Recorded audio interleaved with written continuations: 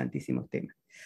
Bueno, chicos, eh, hoy vamos a trabajar con, esta, con, esta, con este autor, Raúl Cabrera Aleman, este, Alemán, eh, que tiene una particularidad. Em,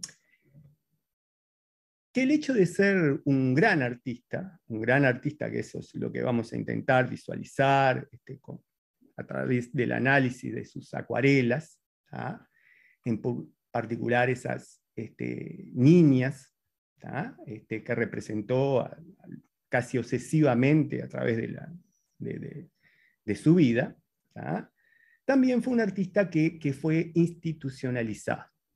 Fue institucionalizado, él, como ahí muy bien dice la diapositiva, él nace en 1919, este, es un niño expósito, es un niño abandonado, se lo, entregan en el, en, el asilo Damaso Antonio Larrañaga, ¿verdad? luego es adoptado por una familia eh, acá de Montevideo, ¿verdad? del barrio La Unión, este, y a los 18 años, ¿verdad? Queda en contexto, él se va de ese lugar de adopción y queda mm, eh, en situación de vulnerabilidad social, es decir, no, no, no tiene un lugar de residencia, vive en la calle, ¿verdad? Calle, en las pensiones, en, las, en donde muchas veces, sin saber en ese mismo día dónde es que, va a deparar en la noche, va a parar en la noche. Bueno, lo cierto es que ya vamos a entrar en esos aspectos biográficos, un poquito de, recién ingresar en el, tema, para darle cierto contexto. Lo cierto es que en el año 1951 eh, es internado en el Hospital Vilar de Bonn, el antiguo manicomio nacional, este, en el año 1951, pero es internado en el sentido de, mm, de, ser una especie de paciente social en realidad, ¿verdad? Es decir, Lucy Parrilla, la, hermana de, uno de sus mejores amigos, ¿ah? no, quien se había hecho cargo de, él, ¿verdad? Precisamente, dado que no, tenía un hogar donde vivir, este, bueno, al ser desalojada ella también, y está en situación muy complicada económicamente, su hermano se había ido precisamente a Europa, José Parrilla es, es fundamental en la, este, en la propuesta artística de, de, Cabrerita, ¿verdad? Como, como es el seudónimo. Bueno, lo cierto es que durante dos años ahí está a cargo del doctor Cáceres, que estaba a cargo de la dirección del museo, y bueno, ahí se lo, se lo, se, lo tiene en el sentido de que, bueno, ahí por lo menos tiene un techo, puede comer, se le entrega unas acuarelas, puede pintar y no, no, no hay problema. Bueno, lo cierto es que en el año 1953 este, hay un cambio en la dirección del hospital, cambia, este, se va al doctor Cáceres, ingresa al doctor Darder y decide llevarlo, este, trasladarlo a la colonia Chepari, ahí en el departamento de San José, ¿verdad? Por, ruta 11. Este, con la idea de que, bueno, Cabrerita estaba sufriendo un cuadro de, esquizofrenia. ¿ah? Ya vamos a ver, vamos a adelantarnos, Jamás apareció una historia clínica a partir de las entrevistas que hemos realizado, con, inclusive con este, doctoras que estuvieron en permanente trato y vínculo con él en el momento de la internación, decía que no, que no, no, no. Como lo vamos a analizar, no, había ninguna, este, vamos a decir, síntoma o síndrome que pudiera diagnosticarlos con, ese cuadro. Aparte tenemos un problema, que le llamamos esquizofrenia, ¿verdad? O, o como en aquel momento se les designaba locos, la locura. Bueno, durante 30 años estuvo internado, ya en el año 83 se le da el alta, las condiciones eran terribles, eran durísimas, ¿verdad? después ya lo vamos a ir analizando más detenidamente, hasta que, bueno, se le da el alta, él, logra cierta pensión del, gobierno, y, bueno, y aparte eh, tiene el amparo de, una familia de Santa Lucía, los Luchinetti, ¿verdad? Donde, van a, este, va a vivir este, hasta el año 1992. Es un poco así a grandes rasgos. La peculiaridad que, que, que, hablábamos de este paciente social que es psiquiatrizado. Lo peculiar está precisamente en eso, ¿Cómo podemos abordarlos? ¿Desde qué campo del conocimiento podemos abordar? Para que para poder tratar de mm, ver su obra, para poderla simbolizar, significar, encontrarles ciertos sentidos. Este, ¿Desde qué campo del conocimiento podemos hacerlo? Y en ese sentido nosotros, en la propuesta, que esto es un proyecto que ya hace unos años que vengo trabajando con el tema de, la, de una maestría, este, la idea es precisamente cómo vincular dos campos del conocimiento que son distintos, son distintos. Un campo es el conocimiento artístico y otro campo es el conocimiento eh, de la psicología, en particular de la psicología del arte. Son dos campos del conocimiento absolutamente diferentes. Por lo pronto ya les voy señalando algunas cositas, para que quede bien en claro esas diferencias.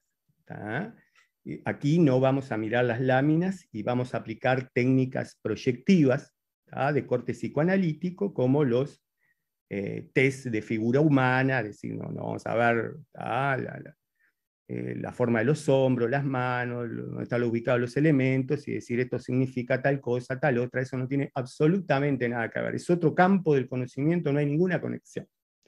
Eso es hacer este, pseudosanálisis que no, que no tienen sustentación teórica ninguna. Tampoco, tampoco vamos a hacer psicobiografías. ¿Qué son esas psicobiografías? Es decir, bueno, tratar de ver en la historia del, artista, en este caso, para poder vincular determinados hechos que se puedan explicar a través de ciertos trastornos en la conducta y que se ven reflejados en la pintura. Eso es imposible, no se puede hacer, no tiene nada que ver con estos campos del conocimiento. En este caso, un psicoanalista francés, Jean-Marie Lacan, decía bien claro, una psicoterapia implica un analista, un analizante y un habla. Si no hay eso, no, no hay posibilidades. Eh, no decía paciente, decía analizante. Es decir, el propio analizante tiene la, voz sobre su padecer, sobre su sentir. Y, y, el psicólogo ahí, o el analista lo que hace es copensar con el otro pero no, no, no, no, no, no tiene nada que ver con que, bueno, determinados episodios que yo leo en la historia, ahí yo después lo veo reflejado como una forma, no, no, de trastornos que se ve ahí. O sea que una vez que tenemos bien en claro qué no es, entonces vamos a ver precisamente qué, qué cosas nos conectan.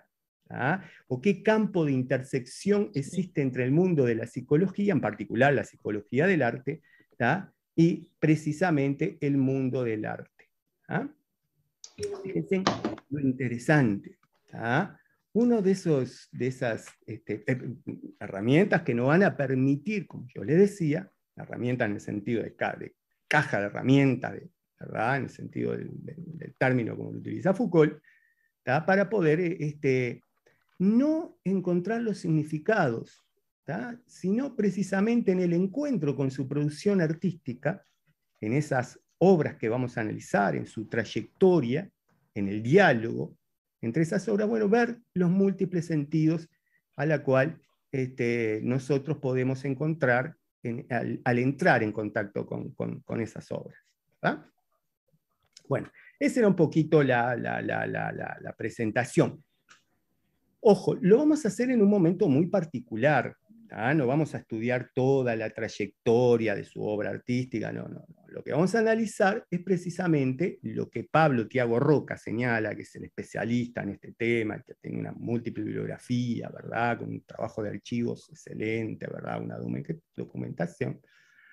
Eh, lo mismo que otros, ¿verdad? Este, en este caso psicólogos sociales, ¿verdad? Como Nelson de León ha trabajado mucho este tema, o Cecilia Baroni, que la encargada de Radio Vilar de Voz, ¿verdad? Bueno, acá trabaja precisamente con, este, eh, em, articulación de saberes, ¿verdad? Y fundamentos para la clínica psicoanalítica también, ¿verdad? Y bueno, ya ha trabajado este, mucho la, la, figura, el arte como una mediación, ¿verdad? En los procesos de psicoterapia. Bueno, pero fíjense lo, interesante, entonces, les decía, lo vamos a trabajar en ese momento puntual, en esa transición.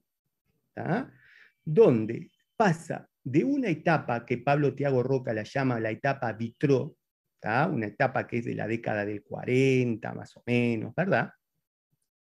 Hasta los años 50, 60, donde hay una etapa de transición, y en el momento más duro de su psiquiatrización, su psiquiatrización, que la denomina la etapa de licuación de sus obras. Bueno, ¿por qué? Ah, voy a sacar mi, rostro ahí porque no, no me deja ver la lámina. Porque la licuación de sus, de, sus acuarelas, ¿verdad? Que constantemente, bueno, es, interesante eh, esta idea, ¿verdad? Este, porque yo me preguntaba, ¿tendrá algo que ver, tiene algo que ver el tema de su etapa de más dura institucionalización, psiquiatrización? Piensa en choques eléctricos. Yo le comentaba a Susana Estebarena, la, médica que estaba a cargo de él, ¿verdad? Que Ustedes saben que por lo general estos dispositivos aún se siguen utilizando, pero este, con, otras herramientas, ¿verdad? Este, no, no, no. Eh, se, hacían, se hacen los electrocardiogramas, anestesia. Bueno, en aquel entonces no, existía nada de eso. No, no, no, no. En, absoluto, ¿verdad? Eh, después nos vamos a detener en estos dispositivos de construcción de la locura. Y esto es muy interesante. Eh, para que ustedes consideren las durezas de, su momento de internación. Ustedes saben que una de las formas de aplacar el dolor físico como forma de distraer el dolor psíquico eran las inyecciones de trementina. ¿Y qué son las inyecciones de trementina? Aguarrás vegetal. La idea es que el dolor físico supere los niveles de atención del dolor psíquico del sujeto. Para que ustedes vean cómo, en cierta forma, eh, recordemos que Cabrerita no tenía ningún diagnóstico de esquizofrenia, cómo las instituciones van construyendo esa locura, a través de ciertos dispositivos, a, ciertas, a partir de ciertas lógicas, a partir de ciertos discursos, nociones, representaciones sociales, ¿ah? formas arquitectónicas, van construyendo la locura. Y fíjense lo, interesante, ¿por porque es en ese contexto donde Cabrerita dirime su, subjetividad. Y es interesante, bueno, esto acá es, para entrarle una conexión con lo, que, con lo que digo y con lo que hablo, ¿verdad? Con lo, con lo, con lo, que digo y con lo que miramos en realidad. Esta es una imagen jovencísima, ¿verdad? De, de, matrimonio de, Freud, ¿verdad? Y Marta Bernal, ¿verdad? Y es interesante porque ahí esta anécdota la contaba Bruno Cancio, ¿verdad? Acá en la, facultad, que contaba la siguiente anécdota que me parece muy ilustrativo, ¿verdad? De lo que quiero explicarles. Este, ustedes saben que, eh, bueno, contaba que el propio este, Freud eh, tenía muchos celos de, Marta, ¿verdad? Y sobre todo de un, artista, de un músico que, le acortejaba. Y tenía celos porque él en cierta forma dice que se sentía en desventaja con respecto al músico. ¿Por qué? Y porque decía él que mientras el psicoanálisis para llegar a abrir el corazón de una chica tenía que conocer la, cerradura, la llave, cómo abrirlo, las partes, las estructuras para llegar hasta ese fondo de su, de su, corazón, el artista venía y de un solo pantallazo lo abría. El músico, ¿verdad? Con una sola nota, con un, pincelazo, ¿verdad? Con un golpe de cincel, llegaba precisamente a, ese, fondo, ¿verdad? A esa, esa subjetividad. Y él decía, bueno, y si ustedes miran toda la metapsicología de Freud, está, vinculado con, con, obras que provienen del mundo de la literatura, del arte, ¿verdad? ¿Qué sé yo? Este, el Moisés de Miguel Ángel, un recuerdo infantil de Leonardo da Vinci, ¿verdad? Leonardo da Vinci, un recuerdo infantil, es decir, continuamente para el complejo de, de Edipo, de Electra, continuamente está apelando al campo del, del, arte, de la mitología, de la literatura, ¿verdad? Para precisamente fundamentar este, sus, ideas, ¿verdad? ¿Y qué, son la, subjetividad? Dicho usted ya, simplemente estoy haciendo algún, vinculando algunos conceptos básicos para poder tener herramientas para trabajar luego en, el análisis de las obras, ¿verdad? Bueno, la subjetividad tiene que ver con aquellas formas de pensar, sentir, actuar y desear, ¿tá? que van configurando al sujeto y que se van configurando a partir de una red de relaciones. Se va relacionando distintas dimensiones, institucional, familiar, la comunidad, ¿verdad? Y donde se va construyendo a partir de ciertas nociones de, verdad, que se juegan en el marco de relaciones entre saber y poder, así lo, sostenía este, Foucault. Fíjense lo interesante, ¿verdad? Y el sujeto se va adaptando ¿ah? Con sus tensiones, con sus colisiones, con sus resistencias, con sus tensiones, ¿verdad? Precisamente a esa, eh, eh, en ese proceso de configuración de una subjetividad. Entonces, fíjense lo siguiente, una primera tensión que tenemos aquí, en el caso de Cabrerita, es precisamente el, cómo configurar una subjetividad de artista en un contexto donde entra en tensión con un proceso de psiquiatrización que configura una identidad, como se lo llamaba en aquel entonces, de loco, de anormal. ¿ah? Alguien que se sale del anor. ¿ah? Entonces es interesante para poder verlo a la luz de, las obras. ¿Por qué? Porque en cierta forma esa subjetividad se va configurando a partir de ciertos procesos psíquicos. A ver si vamos mirando acá. Eh, fíjense lo, interesante. Eh, esos procesos psíquicos, ¿verdad?, que entran en juego, que como dice aquí la, diapositiva, esos procesos cognitivos, ¿verdad?, sensación, percepción, memoria, procesos afectivos, sentimiento, emoción, este, eh, pasión, estados de ánimos, estados anímicos, los procesos conativos o volitivos. Pero fíjense lo interesante, esto es muy, muy complejo, esto es más que nada una clasificación académica.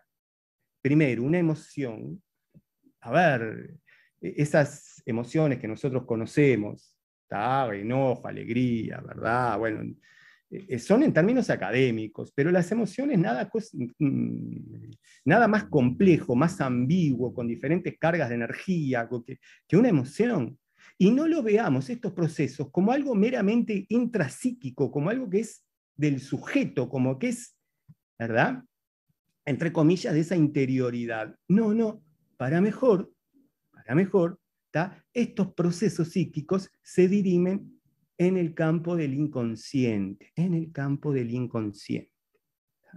El propio Freud señalaba, no somos dueños ni siquiera de nuestra propia casa.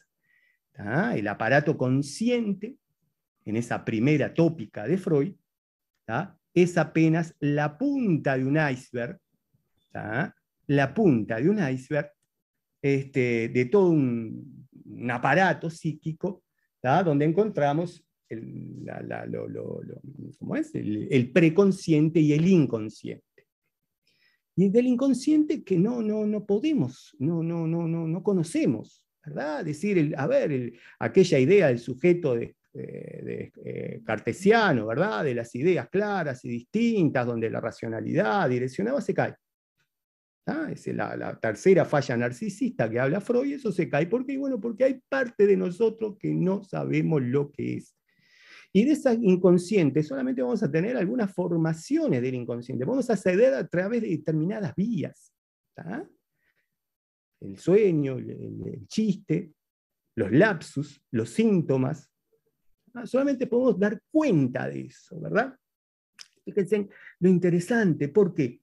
Porque la psicología del arte precisamente se encarga, y siempre se está configurando ¿verdad? permanentemente en cuanto a cuáles son los objetivos y el campo de, de su estudio, es el estudio de los estados de conciencia y de los fenómenos inconscientes correlativa a la creación y recepción de la obra de arte. ¿ah? Es decir, bueno, a ver, ¿qué significa esto? ¿Ah? Este, la psicología del arte, según la entiende Weber, allá en 1966, que es un poco el padre, el fundador, dice, bueno, a ver, ¿qué estudia? Estudia los procesos psíquicos en el momento de la creación de la obra de arte. Entonces, los procesos psíquicos en la creación y la recepción de la obra de arte. Por supuesto que esto tiene una historia detrás. ¿Qué sé yo? Nosotros podemos remontar las propuestas de Wilhelm Bordinger, allá en el año 1907, a comienzo del siglo, con abstracción y empatía. Em, ahí hablaba precisamente de la psicología del estilo, ¿verdad? Se atribuía que ciertos valores de la forma en la pintura, de la forma o la figura, se podían conectar con ciertos valores emocionales internos, ¿verdad? Es decir, este, en la pintura no importaba el tema, el motivo, ¿verdad? Sino cómo se proyectan esas formas, y esas formas tienen ciertas esencias, ¿verdad? Bueno, que en cierta forma nos, este, no, nos permiten este, eh, valorar la obra desde ese lugar, ¿verdad? Es un poco, tuvo mucho, este, mucha influencia, por ejemplo, la figura de Kandinsky. O por ejemplo, el, austríaco Rudolf Arnheim, que también, bueno, ya en 1948, ¿verdad? Con, con, este, con, con, con, más que nada con la influencia de la psicología de la Gestalt o de las formas o de las figuras, decir, bueno, este, había que estudiar la composición de la obra para poder entender precisamente, bueno, cómo, cómo, cómo, cómo son esas, este, esas formas, ¿verdad? donde la composición pasa a ser el elemento más significativo, ¿verdad?, del análisis de la, de la obra. Y podemos seguir, ¿verdad?, es decir, también Gustav Jung, este, en los hombres y los símbolos, ¿verdad?, la noción de arquetipo, ah, decir, bueno, hay arquetipos que se heredan, así como heredamos un sistema orgánico, como especie, ¿verdad? Nosotros como, como especie organizamos un sistema, eh, perdón, heredamos un sistema psíquico y en ese, en ese inconsciente colectivo aparecen esos arquetipos ¿verdad? que tienen que ver con, con, el aparato psíquico y que se expresan a través de las obras de arte. Un poco lo que dicen el hombre y sus símbolos. Es decir, bueno, eh, em, bueno, por supuesto, también tenemos Vygotsky, es decir, en su tesis doctoral ahí nos decía, este, bueno, eh, eh, las razones del motivo de la obra de arte, vayan a buscarla en el inconsciente. Han escrito cosas acá en el chat. Ay, yo les confieso que no tengo... Ah, ah están dejando la cédula. Ah, está. Está, buenísimo, Miguel. Es cualquier cosa, porque yo no, no, tengo esa capacidad para leer y todo eso. Bueno, ustedes ven ahí. Buenísimo. Dejen la cédula así después por las constancias. ¿Está? Bueno, y fíjense lo interesante, Gombrich, ¿verdad? Trabaja los conceptos, este, quien es el aporte, ¿verdad? El gran aporte, ¿verdad? Que hace su, teoría desde la psicología del arte, ¿verdad? De la semiótica y todo lo que es la teoría de la, que, proviene del psicoanálisis y toda su noción de representación. Este, eh, fíjense lo, lo, interesante, en el análisis de la obra, que ver precisamente este, que es lo que, lo, que está en la principal imagen, es lo que está en la mente del receptor. La ilusión se genera ahí precisamente. Y ahí entra con sus planteamientos sobre el fenómeno de la percepción. Es un poco el recorrido. Esto es muy importante, eh, muy importante, yo a veces lo paso un poquito de largo para que este, simplemente estamos construyendo cierto, ah, estamos bien de tiempo, cierto armazón teórico como para poder adentrar. Entonces, piensen que ese aparato psíquico del que hablaba Freud, miren el término, bien positivista, bien mecanicista, una máquina, quería buscar, este, tiene mm, tres topus, tiene tres lugares, no lugares físicos, no lugares anatómicos, sino lugares en la psique, consciente, preconsciente, inconsciente, que a su vez se comunican entre sí a través de distintos registros, un registro dinámico, y un registro económico que tiene que ver con la intensidad, con la intensidad de la energía de la representación. Rápidamente, para decirlo, para el psicoanálisis, el mundo es percepción. ¿Qué significa esto? Que frente a un estímulo, frente a un estímulo, nosotros percibimos y con esa percepción construimos una representación mental. Pero esa representación mental esa representación mental, lo que se presenta en la mente, representación es eso, ¿verdad? Lo que se presenta en la mente, ¿ah? está compuesto por... Ay, chicos, apaguen los micrófonos porque se les puede filtrar alguna conversación de esas personales. Bueno, esa representación mental, como yo les, les decía, esa representación está, tiene un montaje, está investida. Está investida ¿por qué? Por una carga, por una energía. Acentos, afectos, energías. A ver, voy a silenciar. Así. ¿Cómo es que se silencia todo? Ya me olvidé de pensar que... Bueno, ustedes eh, traten de silenciarse porque mi poder de concentración es cero, ¿verdad? Y a veces se puede generar interferencia. Bueno, lo cierto es que esas representaciones que vamos construyendo, ojo, para la primera tópica de Freud, ¿verdad? que es un poco la piedra fundante del psicoanálisis, lo hacemos ya desde el momento de nacer. Nosotros nacemos todo ello y nuestra madre, cuando nos acaricia, nos alimenta, ¿verdad? nos delimita un cuerpo, ahí nosotros vamos recibiendo los estímulos, las primeras vivencias de satisfacción, pero no las podemos alojar todas en el aparato consciente. No sé, si no seríamos como muy, este, Funes el memorioso, de, no, no, tenemos que ir desalojando y llevándolas al inconsciente. Fíjense en lo, lo interesante, ¿por qué? Porque es a través de las pulsiones, esas representaciones alojadas en el inconsciente quieren salir hacia arriba, quieren irse hacia arriba, quieren devenir de manera consciente. Quieren devenir este, de manera consciente. Y bueno, y ahí es inevitablemente tiene que actuar el mecanismo de defensa de la represión.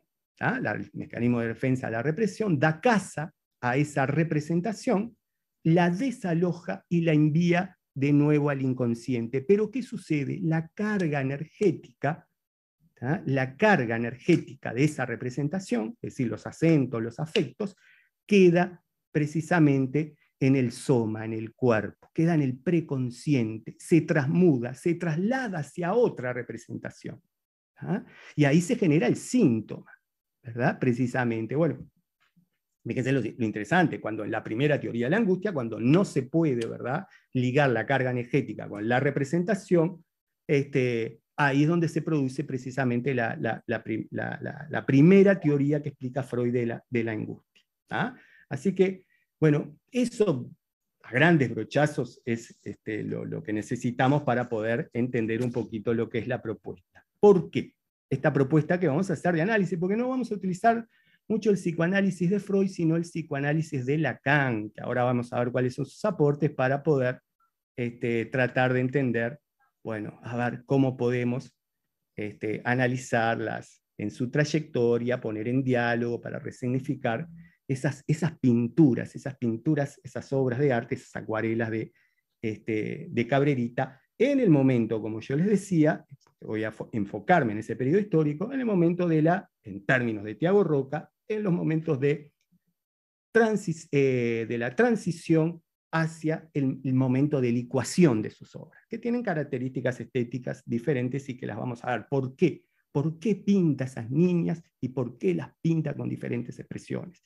Y qué marco teórico tenemos para poder aproximarnos, hablar en torno a esos significados. Nunca podemos llegar a saber, ¿verdad?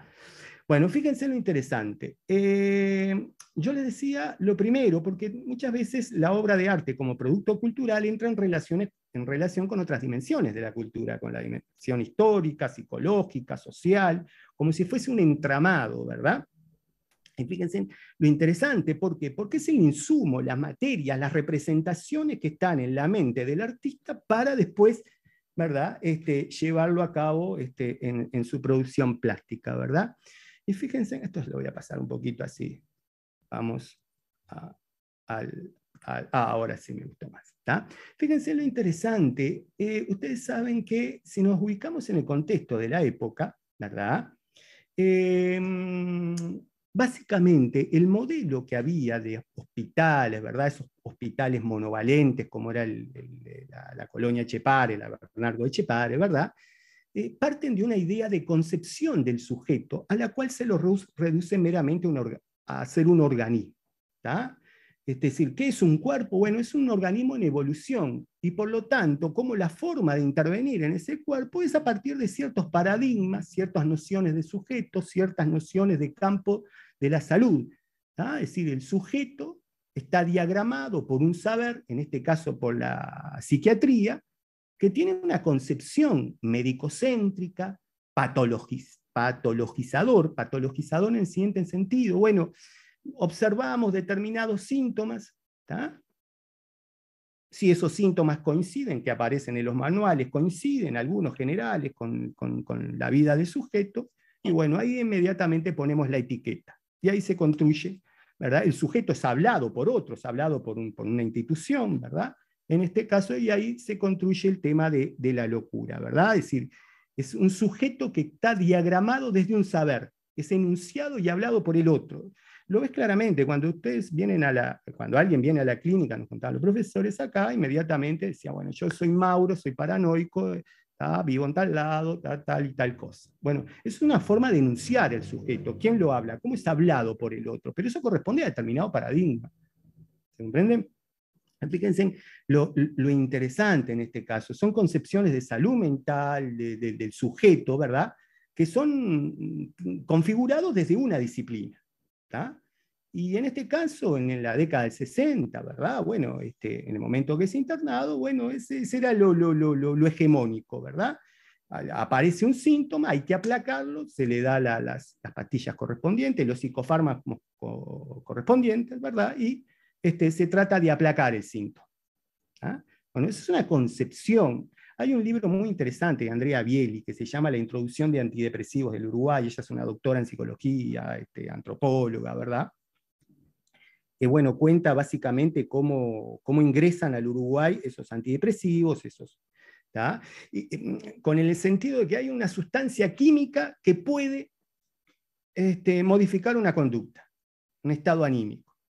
¿Ah? Y no solamente puede modificar, a los pocos años se hacen tan populares que no solamente pueden modificar lo negativo, vamos a decir, sino que también hay pastillas o psicofármacos que pueden mejorar lo que ya tienes, potenciar lo que ya tienes. ¿ah? Entonces, fíjense en lo, interesante, siguiendo este camino, creo que a fines del siglo XXI vamos a encontrar una pastilla para el bien y una pastilla para el mal. Pero esos son los, en, en, la década del 60, ¿verdad? Por supuesto que muchas de estas industrias farmacológicas estaban en connivencia con quienes diseñaban los manuales de psiquiatría. Vuelvo a insistir, ojo, que estas y ya no se concibe así, ni siquiera desde, la, desde el mundo de la psiquiatría. Lo que pasa es que tenemos que enfocarnos en, lo, en, las, en las creencias de la época, en las representaciones sociales de la época, ¿verdad?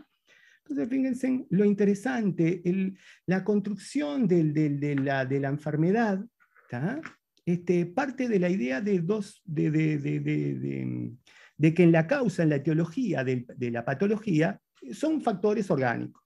¿verdad? Es decir, ahí tiene que ver con, hoy ya nadie habla de que la, esquizofrenia en particular es una este, enfermedad cerebral, sino es, un trastorno mental, ¿verdad?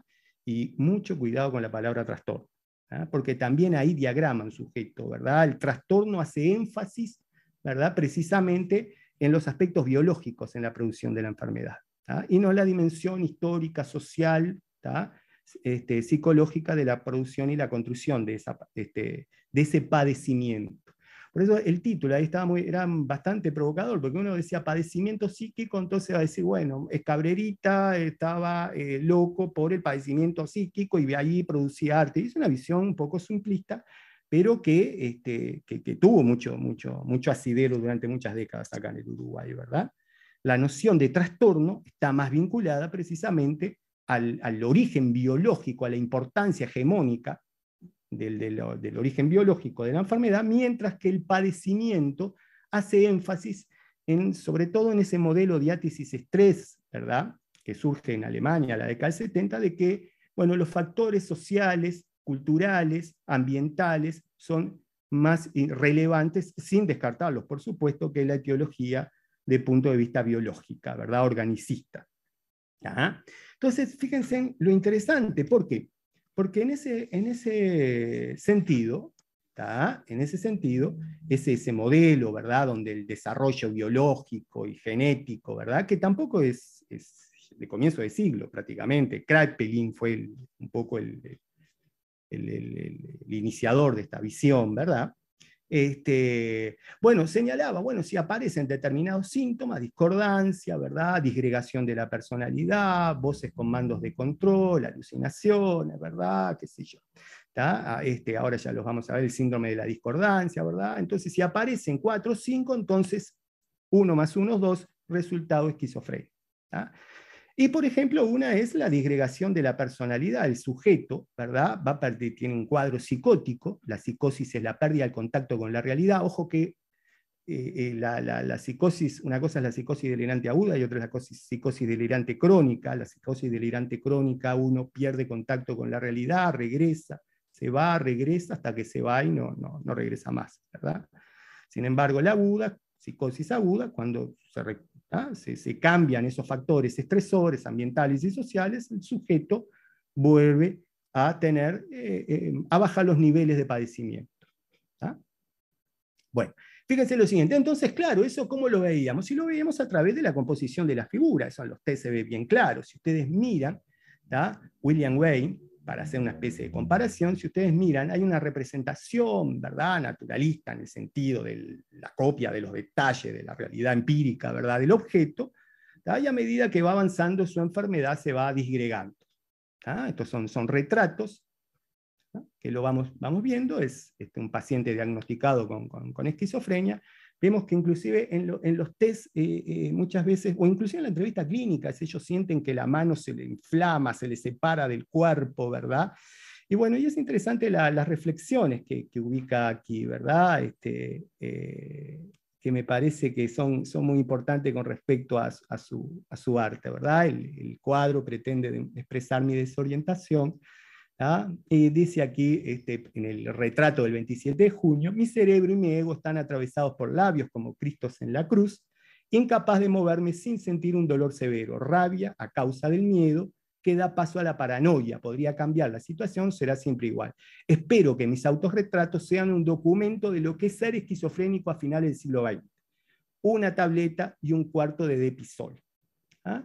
Es decir, eh, ¿Qué es lo que está mostrando ahí precisamente? Bueno, ojo que aquellas ideas del cuerpo entendido como el organismo, ¿verdad? Y por lo tanto, ahí este, hay un supuesto saber en términos lacanianos, ¿verdad? Que interviene, que lo cura, que lo sana. Eso es hijo de un pensamiento racionalista moderno, que implica ¿verdad? pensar la salud y la enfermedad en términos dicotómicos, en términos de dos polos, o se está sano o se está enfermo. Eh, la, OMS decía hasta hace un ratito, ¿verdad? Este, la, salud es ausencia de enfermedad, vos, de un lado o del otro. Este, sin embargo, esos, conceptos son, sumamente cuestionados por estos nuevos enfoques desde la psicología sobre el campo de la salud mental, ¿verdad? en, particular de estos padecimientos mentales. ¿Por qué? Porque no habla de la noción de trastorno sino de padecimientos, y todos tenemos distintos niveles de padecimiento y de sufrimiento. Por lo tanto, la enfermedad y la salud es parte de un mismo vector. O se está más o menos sano o se está más o menos enfermo, pero todos pasamos por esos, por esos procesos. Por eso cuando dice Cabrerita padecimiento psíquico, en particular está hablando de un sujeto absolutamente normal. Este, todos tenemos padecimientos psíquicos. Entonces, fíjense lo interesante. Dicho esto, ese contexto de sistema de creencias, de representaciones sociales que entran en juego y que, bueno, ah, ojo que esto no se ha terminado. En la ley del, 2017, la ley de salud mental, hay una disputa entre la Asociación de Psiquiatría del Uruguay, que habla de la ley de trastorno, ¿verdad? Y el campo de la, de la, psicología, que este, él quiere eliminar precisamente ese término. Y eso no es nada menor, porque como enunciamos la realidad, es como la producimos. Bueno, fíjense lo, interesante, ¿por qué? Porque en este caso, si nosotros vemos este, este relato organicista, ¿verdad? Nosotros podíamos fácilmente trasladarlos a la producción este, artística de Cabrerita. Si nosotros miramos esas primeras obras de la década del, del 30, del 35, del 40, ¿verdad? Con esas niñas rígidas, con esas niñas bien estructuradas, con, con la composición aura, con cierto autocontrol, ¿verdad? Con esa severidad de ritmos, ¿verdad? Vemos la, la, proporción áurea, esto lo toma de, de, Torres García, la cual asiste de manera informal a su taller. Vaya, vamos a retomar todo eso. Déjenme ver un poquito la hora. Ah, estoy bien. Bueno, fíjense lo, lo, interesante. A medida, podríamos decir, a partir de ese relato, que su evolución, la evolución de la enfermedad se va agudizando en su proceso de su psiquiatrización, la imagen se va disgregando. Podríamos decir que su enfermedad avanza y bueno, evidentemente eso afecta sus habilidades visoespaciales, visoconstructivas y aparecen estas, estas este, imágenes que en cierta forma dan cuenta de ese proceso de deterioro de la personalidad.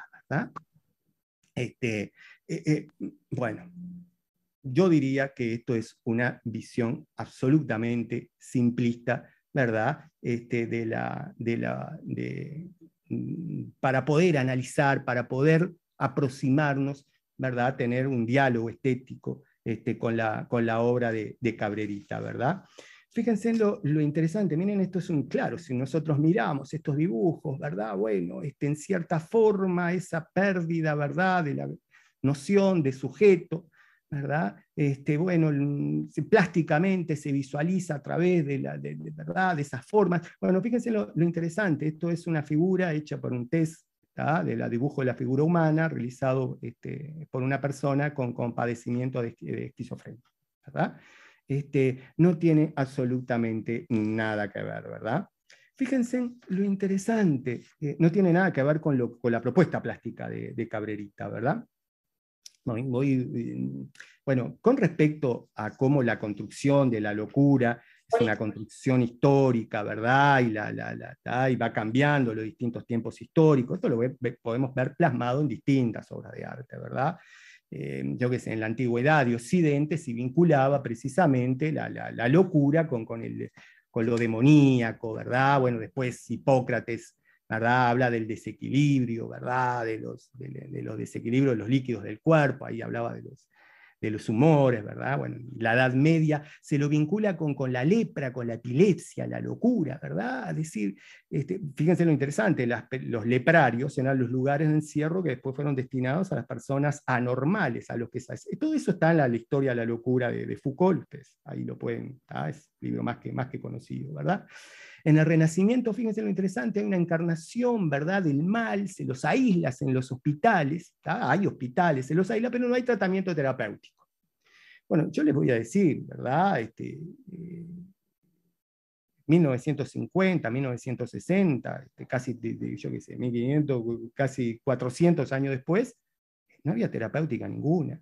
Eh, yo les, eh, Susana me contaba que, los pabellones estaban absolutamente sin puerta, comían con la mano, estaban absolutamente con harapos, vestidos, es decir, ahí no había uno que no se, entre comillas, enloqueciera, pero no es una locura congénita que viene, sino es una construcción de, un, de, los distintos dispositivos que van conformando esa locura. Bueno, ¿qué papel juega el arte en ese sentido, en particular en Cabrerita? Es lo que vamos a intentar este, este, definir, ¿verdad? Verbo. Definir, no este, hablar sobre eso, ¿verdad? Bueno, fíjense lo siguiente, en, el siglo XVII, bueno, ya comienzan a haber estudios sobre las estructuras cerebrales, sobre el sistema nervioso, aparecen ciertas terapéuticas, pero de orden moral. Eh, Philippe el padre un poco de la psiquiatría en el siglo XVIII, ahí hay hace énfasis también en los factores hereditarios, pero también ambientales, ¿verdad? Aparecen las clasificaciones, la manía, melancolía, etcétera, etcétera. En, el siglo, en el siglo XIX, esto dicho a grandes brochazos, así, ¿verdad? Este, ahí, empieza a recorrer su propio camino, la psicología experimental, hasta que en el 20 el psicoanálisis hay una ruptura este, muy, muy fuerte, ¿verdad? ¿Por qué? Porque buscan factores que van más allá del orgánico en la producción de, de esas, de esas este, locuras, ¿verdad? Fíjense lo interesante, ya en el 17 comienza a mm, formarse los primeros manuales de diagnósticos este, y estadísticos de trastornos mentales, los famosos DSM-4, DSM-5, DSM, las distintas versiones. Fíjense lo siguiente, en, la primera versión, la primera versión fue el del 17, pero la más divulgada fue el 52 y 68. eh, hablaba de la mm, homosexualidad como un comportamiento sociópata. Y la esquizofrenia era igual a autismo, ¿verdad? Ustedes vayan observando precisamente, bueno, este, para los ojos de la, de la época, cómo se construían esas creencias o esas representaciones, ¿verdad?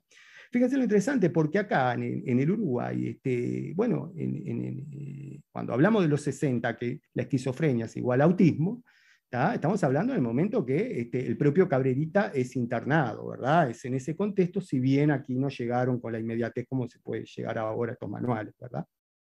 Bueno, fíjense lo, interesante, en el año 80, ¿verdad? Este, hay un aumento de la popularidad de estos manuales, ¿verdad? De, bueno, este, donde reducen los aspectos subjetivos de la información, del padecimiento. Las condiciones de trayectoria de vida, social, ambiental, ¿verdad? Bueno, este, son en función de esas, de visiones de corte orgánica, este, un, reduccionista de de lo que es un sujeto, ¿verdad? Fíjense en lo, interesante. Bueno, ejemplos de esto, de, las prácticas de, terapéutica, eran las lógicas de encierro, ¿verdad? De anormal, de sacarlos, ¿verdad? Bueno, ahí vemos precisamente una de las pinturas de, Goya, que, bueno, que puede ser trabajada, ¿verdad? Como el, corral de los locos, ¿verdad? Vemos acá, acá, este, esto es el, en el, este, ¿cómo es? En el, Nuestra Señora de Gracia de Zaragoza. Funcionaba como una especie de manicomio, aquí peleando desnudos, el guardia azotando, y este personaje de la izquierda mirándonos con esa cara este, absolutamente horrorizada, ¿verdad? En un patio absolutamente ahí definido. Bueno, ahí miren la ilustración de, este, del maníaco, ¿verdad?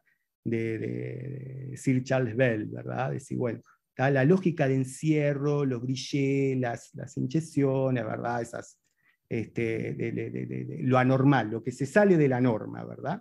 Fíjense lo interesante, esto también lo vemos en, el, en, el, en las pinturas, este, en La Casa de los Locos, otra de las pinturas de Goya, una serie de cuatro pinturas, donde acá ya aparece lo que es la representación del poder, ¿verdad? Es, hay una parodia del poder, acá esta figura representando al, poder religioso con esta especie de tiara, ¿verdad? Y hay una tiara papal, a eso me refiero, bueno, acá este soldado con este tricornio, bueno, o este monje, y aquí este, representado, pero siempre con, esa idea de, bueno, este, este, que está de espalda, ¿verdad? Con, una especie de pitón, ¿verdad? Que, hace de, picador, vendría a ser una especie de metáfora visual de lo que es el pueblo del Bazán, etcétera, etcétera. Bueno, este, la, dimensión sexual, la dimensión aquí oscura, ¿verdad? También tiene que ver con, con esas lógicas de encierro, ¿verdad? Bueno, pero fíjense lo, lo, lo interesante, ¿por qué? Porque recuerdan aquello de que el arte en cierta forma de un palmetazo, ¿verdad?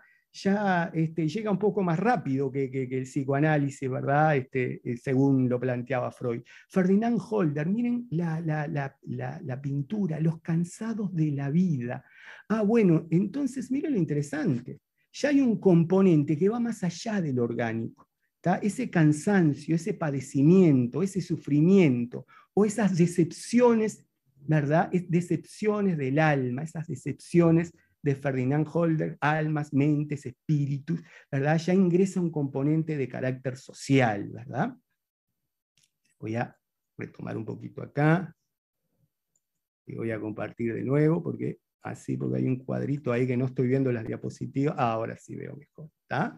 Fíjense lo interesante, pero a ver, retornemos a Cabrerita una vez que ya tenemos estas nociones, ¿verdad? Fíjense lo siguiente, bueno, esto es, es algunas características, ¿verdad? Son definiciones de los manuales, no, no los voy a leer ahora.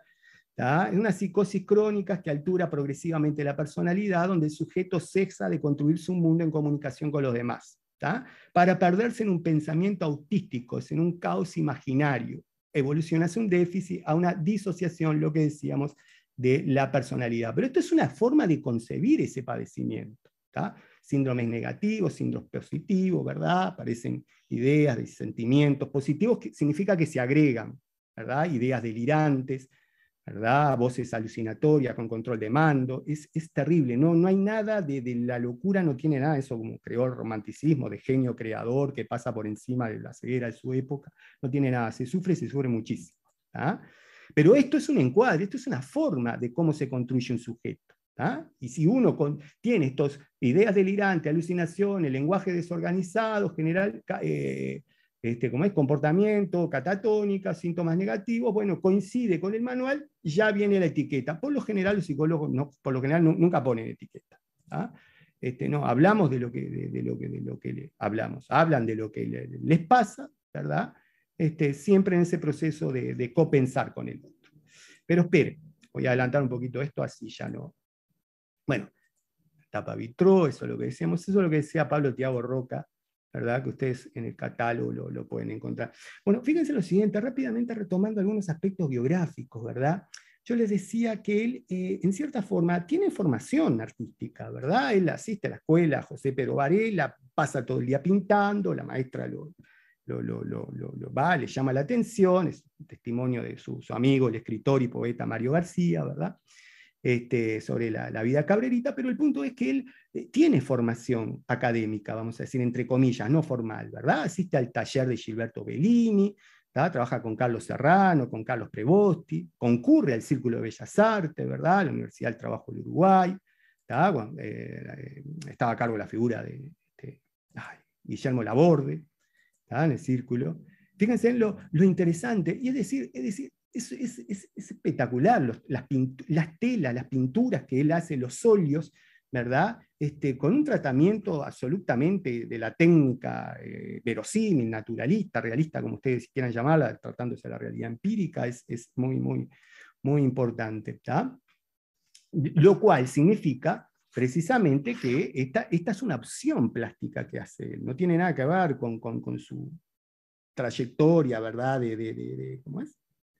De, bueno, de pérdida de habilidades visoespaciales o visoconstructivas, ¿verdad? Es admirador de Picasso, de, Torres García, de Barradas. Y miren lo, lo interesante me voy a detener con Torres García, ¿verdad? Porque si bien es cierto, nosotros podemos ver en esa primera etapa ciertos elementos, a ver esto que me va para adelante, ahí está ciertos elementos de, la, escuela, Torre García, ¿verdad? el taller Torre García, ¿verdad? en cuanto a la proporción áurea, el planismo, la geometrización de la figura, ¿verdad?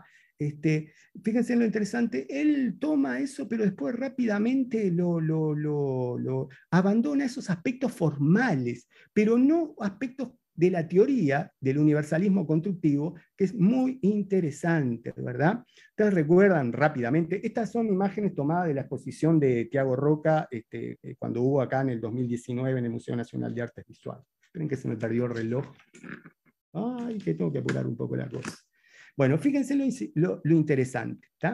Este, ustedes saben que en la, la propuesta, ¿verdad? En, este, aparente y lo concreto en el arte, eh, ahí deja explícitamente, claramente sus ideas, ¿verdad? Este, de que, van a ser una fuerte influencia en, el, en, el, en, Cabrerita, ¿verdad? Cuando el propio este, mm, Torres García señala que las líneas, los colores y las formas valen por sí mismos, son algo concreto, se representan a sí mismos, pertenecen al plano estético, no valen por, lo que, por la mímesis, por lo que representan.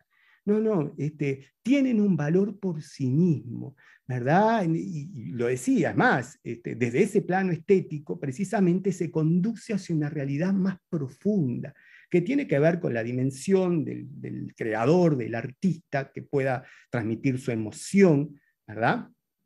Pero fíjense lo, interesante, esta idea que, las líneas, colores y formas, por eso decía, esto es un arte concreto, ¿verdad? Líneas, colores, formas, valen por sí mismos, no por lo que representan de la realidad empírica, no por lo que mimetizan, ¿verdad? Este, y esto es muy interesante, ¿por qué? Porque si nosotros lo vinculamos con la figura de la niña, muchos se atribuyen la idea este, de, de, de, la, de, una niña que conoció, ¿verdad? María Noel Schwetz, este, y que bueno, que quedó registrada esa huella psíquica, ¿verdad? Y que en realidad, bueno, hubo una representación de esa niña, ¿verdad? Como una forma de lidiar con sus deseos escindidos, no tiene nada que ver. No tiene nada que ver. Eso sí es pseudo psicologizar una pintura, ¿verdad? Fíjense lo interesante, porque estas ideas, ¿verdad? De que la niña, es más, el propio Cabrerita cuando le pintaban, ¿verdad? Este, le, decían, bueno, pero ¿qué significa esas niñas? Él decía, bueno, no, no, son poemas, decía él. ¿verdad? Esto es muy interesante porque después lo vamos a articular, ya lo vamos a articular por razones de tiempo, con una, con una idea fuerza que proviene del psicoanálisis lacaniano. ¿ah?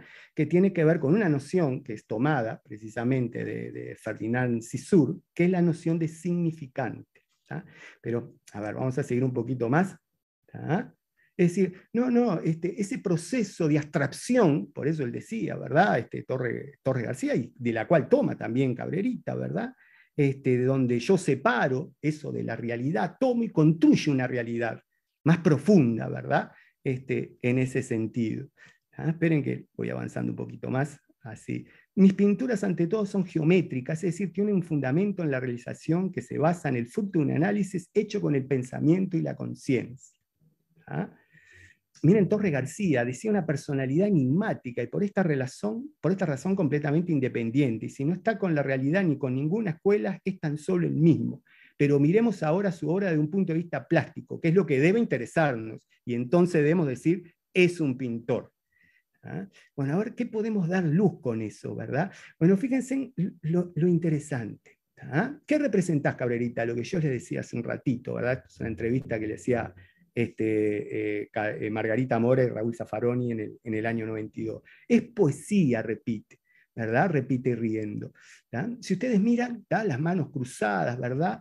Este, los ojos, la mirada hierática, toda esa proporción, y sin embargo, a medida cuando avanza precisamente en esa etapa de licuación, en esa etapa de, bueno, por demás está decir, ¿verdad? Que a diferencia, ¿verdad? De, porque una vez se los quiso presentar como una especie de Van Gogh criollo, pero a diferencia de, Van Gogh, ¿verdad?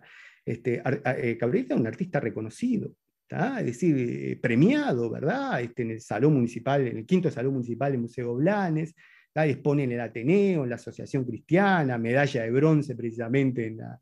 El, décimo, Salón de, Nacional de, Pintura, Acuarela y Escultura, ¿verdad? Es decir, un artista reconocido, está previo a su internación, ¿verdad?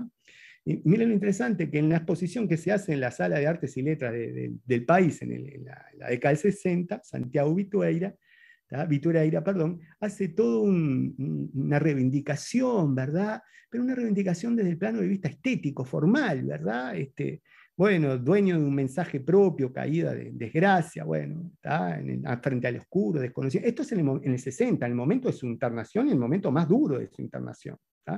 Y si vemos estas pinturas que ya corresponden a ese proceso de transición, ¿verdad? Y de psiquiatrización, vemos cómo las miradas ¿verdad? Se van cargando de expresividad, la pincelada se vuelve más suelta, cambia la tonalidad de las pinturas, se carga de expresión, ¿verdad? Miren, miren esas, esas, esas, este, esas, pinturas, ¿verdad? Bueno, ahí decía, este, este, esto es un reportaje que aparece, ¿verdad? Este, ahí en, en, marcha, ¿verdad? En el año 65, dice, ocasionalmente lo dejan salir con otros internos a ver muestras de arte y recibe visitas de conocidos y artistas. Este, Alejandro Casares, Gerardo Ruiz, Oscar Prato, María Esther que es quien la que va a dar cuenta ¿verdad? De, este, este relato, que se encuentran con dificultades para acceder a la entrevista. Un funcionario asegura que no vale la pena ver a Cabrerita, porque no va a querer hablarle ni levantarse, pasa semanas callado. Pero Cabrerita accede y Gilio, que lo conocía de joven, afirma, hablamos como podríamos hacerlo usted y yo este, si ahora estuviéramos frente a frente. Este relato coincide con otros relatos como de Palomeque, ¿verdad? El profesor y director del IPA que lo conoció, ¿verdad? Personalmente, o con los relatos de Susana Estebarena, ¿verdad? Que era una doctora de práctica, que le llevaba hojitas de garbanzo ahí y, se iban entre los árboles a charlar. Y era una persona de más amable, de más correcta, este, uno generaba empatía rápidamente con él. Sin embargo, había días que, este, por ejemplo, eh, mantenía la boca en la, eh, comida en la boca durante días, o se ocultaba en la cama y sin, sin ningún movimiento, no, no, no, no se comunicaba con nadie. Pero claro, que uno observa esas conductas evitatorias inmediatamente, si mira los manuales, inmediatamente lo, lo, lo encorseta o lo etiqueta dentro de esos cuadros este, de trastornos mentales, ¿verdad? Sin embargo, si uno hace un análisis más profundo, ¿verdad?, acerca de la dimensión social, cultural, psicológica que entran en juego, pero, claro, ¿cómo no van a responder con esas conductas invitatorias frente a las atrocidades que está viviendo? Yo les invito a que vayan al Museo Vilar de Boa, ahí Cecilia eh, Baroni los va a atender, bárbaro, ¿verdad? Es una mazmorra de un castillo los dispositivos que tienen para curar el cuerpo, para controlar el cuerpo, ¿verdad? Bueno, esperen que voy a adelantar un poquito. Miren esa licuación de sus obras. Evidentemente aquí hay un decir, y todo decir se dice desde un lugar. Y en un contexto donde estos hospitales monovalentes, ¿verdad? Hospitales con lógicas de encierro, ¿verdad? Donde se diagrama desde una disciplina que no contempla el decir del otro, que acalla del otro. El otro no tiene un saber sobre sí mismo. Hay un supuesto saber que es el especialista y que dice, tú tienes esto, tu vida es esto. Y por lo tanto la solución es esta. El sujeto no, no, no, no participa en nada de eso, ¿verdad? Bueno, fíjense, no se empodera de su propio proceso. Fíjense lo interesante. Ay, 7 menos 5, bueno, espero acelerar un poquito así, 7 y cuarto abro un poquito para, para las preguntas y bueno, sin, este, los comentarios, reflexiones, etcétera, ¿verdad? Fíjense lo, lo, interesante, porque aquella idea que nosotros hablamos de Torres García, ¿verdad? Que línea, color, forma, ¿verdad? Valen por sí mismos, ¿verdad? no por lo que representan de, la realidad empírica, ¿verdad? nosotros podemos articularlos con un concepto que proviene del psicoanálisis lacaniano, que en realidad es tomado de Ferdinand Cissur, que es precisamente la idea del signo lingüístico, esto que apareció en el, curso de lingüística, ¿verdad? No recuerdo bien la fecha, fue al comienzo del siglo XX, el signo lingüístico, que, el signo lingüístico no es un nombre que le ponemos a una cosa, no decimos mesa y mesa, sino es un concepto un concepto que le ponemos a una imagen acústica. Y cuando hablamos de imagen acústica, no, no es el sonido material, físico, sino es la huella psíquica, es la imagen sensorial. Ferdinand Cissur dice que bueno, en el signo lingüístico encontramos el soporte, el significante. Y ese significante tiene un significado. ¿Se comprende? Concepto lo que le da forma a ese significante. Hay una relación, fíjense, lo, el, significado es el contenido del significante, aquí lo vemos claramente, hay una relación. Lacan sostiene que un significante no apunta a un significado, que un significante, ¿verdad? Este, es decir, el soporte del concepto, ¿verdad? Este, apunta no a un significado, sino apunta a otro significante. A ver, Mauro, ¿cómo lo trasladamos al tema de la pintura? Bueno, esa niña, no está, su contenido, su concepto, no es la niña María Noel o las hijas de Lucy Parrilla o la propia Lucy Parrilla. no, no, tiene otro significante, tiene un significante propio. El sentido de ese significante de ese soporte, se lo va a encontrar en relación con otro significante. Y esto es muy interesante, de ahí su famosa expresión.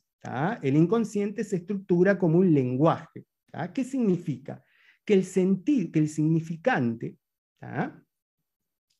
se va a encontrar en relación con otra cadena de significantes. Y es en esa cadena de significantes donde nosotros podemos encontrar el sentido.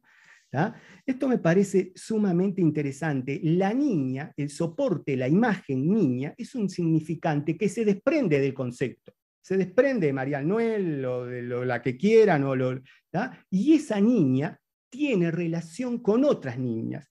El significante artista está en relación con el significante precisamente de persona psiquiatrizada. Y en esa articulación de significante nosotros podemos aproximarnos a encontrar sentidos o hablar en torno a esos sentidos. Porque aquí es donde viene un poquito la complejidad, y yo se les quiero recomendar un libro que está en PDF y está sumamente claro, que es, esto lo voy, a, lo voy a pasar rápidamente, porque si no, no me da el tiempo. En una época fue para mí algo grande jugar con los sentidos. Esto es tratado sobre mi pintura, decía. Esto es un documento que, lo encuentran en el catálogo de las obras de, de, la exposición de, ¿cómo es? De Pablo Tiago Roca. Hay una, expresión que dice, en una época fue para mí algo grande jugar con los sentidos. Yo buscaba anormalizarme, salirme de la, norma, vivir la vida en esos planos, porque aquella moral mía mejor dicho, el concepto que yo tenía de mí misma, residía en la averiguación de estados complejamente patológicos y abstractos. Por eso es esa forma de ver las cosas. Fíjense en lo interesante. Entonces acá ya no hablamos de un síndrome, acá no hablamos precisamente de una enfermedad cerebral congénita de, de, proteínas, ¿verdad? Que no copian y logran codificar, ¿verdad? La comunicación entre las neuronas. ¿Verdad? No, no, no. Estamos hablando precisamente de algo que se dirime en el plano consciente, pero esos procesos sí que se dirimen eh, también en el plano del inconsciente. 7 menos 5. Voy a hacer eh, muy bien y después así abro las preguntas. Fíjense lo interesante. Ese libro se llama, de Recalcati, se llama Las tres estéticas de Lacan. Voy a aplicar rápidamente para Ojo, esto no es para encontrar la verdad, sino para poder aproximarnos en torno a encontrar un, sentido a esas, a esas, obras, ¿verdad? La producción precisamente de este gran artista. Dice que este, Lacan plantea que todo sujeto, ¿verdad? Eh, este, en su este, este, contiene tres registros psíquicos anudados, como, como un nudo borromeo. Uno es lo real, esto ya igual lo conocen, simplemente es para, para, para, rápidamente este, tener algunas nociones. Lo real, lo imaginario y lo simbólico. Esos tres que están anudados ahí en un nudo borromeo, ¿verdad? Es decir, están enlazados, si uno se desenlaza, se, se enlaza a los otros dos. Fíjense lo interesante, en lo real es lo no simbolizado del sujeto, lo que el sujeto no puede imaginar, lo que no puede simbolizar, es lo inconceptuable, es lo indeterminado, lo, lo incontrolable hace fracasar todo saber. Acá no hay posibilidad. Es todo, inclusive, lo real es todo aquello que no pasa por el lenguaje, es aquello que no habla. Fíjense lo, lo, interesante, ese es uno de los registros. El otro registro es el registro simbólico. En la constitución ¿verdad? de la estructura psíquica del individuo encontramos estos tres registros. ¿Ah? El registro simbólico tiene que ver con las reglas, con los sentidos, con los, hábitos que nos acosan sin nosotros saberlo, ¿verdad? Esa red de reglas y presuposiciones, este, precisamente que, nos, van configurando. esas reglas que me acosan sin saberlo. Eh, Lacan lo llama el otro. El otro es, es, algo insustancial. Solamente se transforma en sustancia cuando creemos en ella. ¿Ah? Fíjense lo, interesante, pues, en, este, determinadas formas de vida, de creencias, de representaciones. Bueno, eso precisamente, esas reglas, ¿verdad? Este, por eso este, esa, idea, ¿verdad? Que el, inconsciente se estructura como un lenguaje, pero ese lenguaje es introyectado por el otro. ¿ah? El sujeto es previo al organismo. Fíjense lo siguiente, antes de nacer ya hay una familia que nos espera, nos da un nombre, nos da una institución y de ahí ya nos va generando un recorrido y una serie de comportamientos, hábitos, ¿verdad? Que nosotros vamos simbolizando, pero siempre a través del otro, mediamos a través del otro. Este, fíjense lo, interesante, y es en ese plano simbólico donde el sujeto se encuentra con el organismo, ¿verdad? Es interesante esa idea. Pero fíjense lo, lo interesante, el ser del sujeto se encuentra en lo real y el ser es inaprensible para el mundo de lo simbólico. Entonces ya, le vamos a encontrar un poco más, más de sentido precisamente, ¿verdad? Fíjense, y esto es muy importante, el otro existe en la medida que los sujetos actúan como si ese otro existiera, ¿verdad? Fíjense lo siguiente, y ese otro es lo que nos construye la ley, ¿verdad? Que bueno, a través de la función paterna, ¿verdad? No, no, nos organiza nuestros psiquimos. Eh, no, no, me refiero a la ley jurídica, sino a la ley psíquica, ¿verdad? Es decir, ese lenguaje que es lo que nos configura a nosotros, ¿verdad? Está mediado precisamente por ese otro. ¿ah? Esto es muy, muy importante. ¿Por qué? Porque hay otro plano, el plano imaginario. Ah, estamos bien. Ese registro no plano, ¿está? ese registro imaginario donde están las huellas psíquicas, ¿se acuerdan aquello que hablamos primero, verdad? Aquella, el mundo son este, estímulos, esos estímulos a través de la percepción dejan nuestras huellas psíquicas. Freud lo va a decir, luego vuelve la, viene del de periodo infantil, ¿verdad? De uno a tres años, ¿verdad? Nos viene la, la, este, ¿cómo es? La, eh, perdemos la memoria, ¿verdad?, de aquellas primeras vivencias de satisfacción en el plano consciente, pero esas siguen operando a través de toda nuestra vida en el plano inconsciente, ¿verdad? Esas huellas némicas, ahora me acordé del nombre, ¿verdad? Esas huellas némicas de esos primeros momentos, esas primeras vivencias de satisfacción, ¿verdad? Quedan registradas en nuestro plano inconsciente y siempre quieren pulsionar, quieren salir, quieren buscar su objeto de satisfacción. ¿Verdad? Este, y de ahí él plantea precisamente su noción de, de, compulsión por repetición. La pulsión, que es distinto al instinto, que es distinto para diferenciarnos de la naturaleza, ¿verdad? Precisamente siempre busca la satisfacción en una meta, ¿verdad? Bueno, fíjense lo siguiente, y en ese orden se va constituyendo lo imaginario, precisamente, es ese espacio psíquico que se, que, que se, se compone por esas imágenes, que provienen de los, de los sentidos y de los movimientos del otro. Miren lo que dice este, Miguel Aguiar, ¿verdad? Uno de, los, de, sus amigos, Manuel, no es Miguel. Lo que le interesaba a Cabrerita era sumergirse en la hoja en blanco en donde podían surgir niñas o princesas rubias sin que él supiera cómo o por qué tenían miradas azoradas.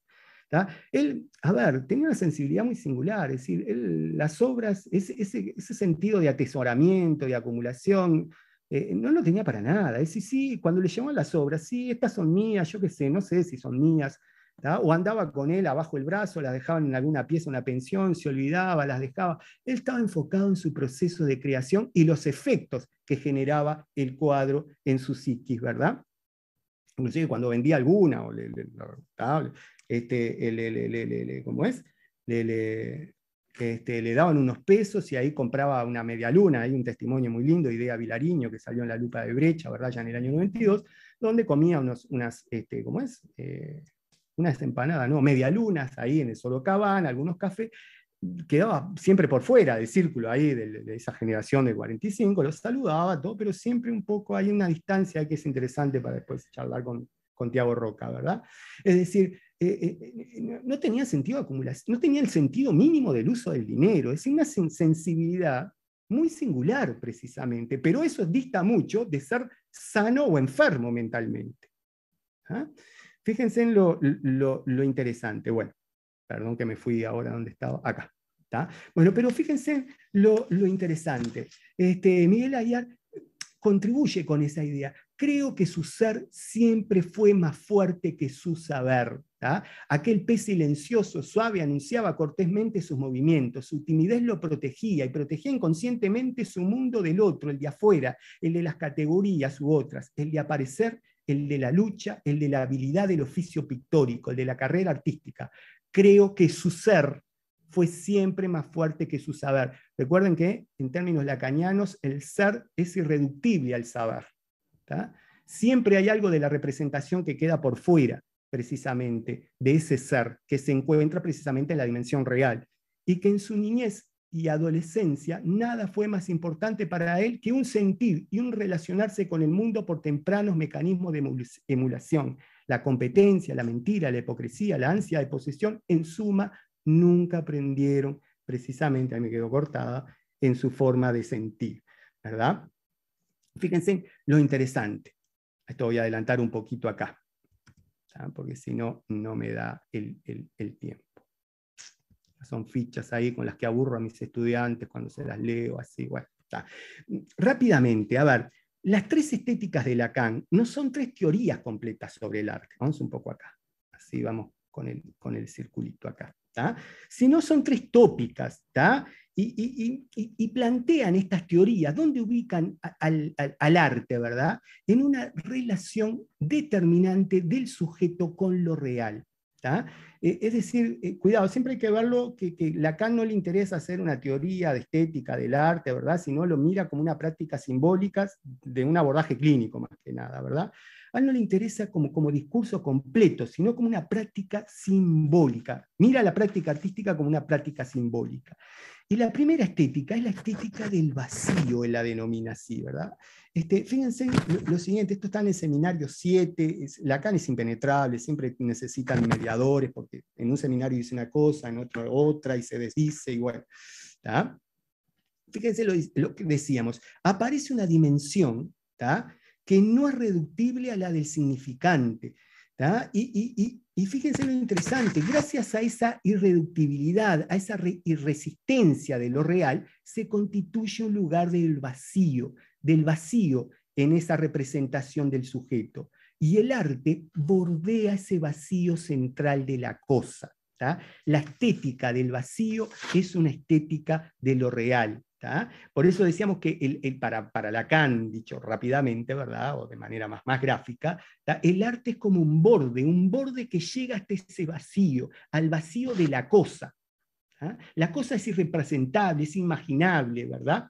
Claro, ahí entraría una en contradicción, porque si la representación cosa de Freud se aloja en el inconsciente, bueno, y el inconsciente se aloja como un lenguaje, ¿verdad? Se estructura como un lenguaje, ahí queda. No, no. Lo que sucede es que la cosa en la palabra alemana tiene dos acepciones. Utiliza Freud, dies H y das Ding.